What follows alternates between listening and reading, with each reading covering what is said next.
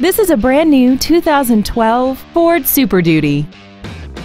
This truck has an automatic transmission, a 6.7 liter V8, and the added safety and control of four wheel drive. Stop by today and test drive this vehicle for yourself.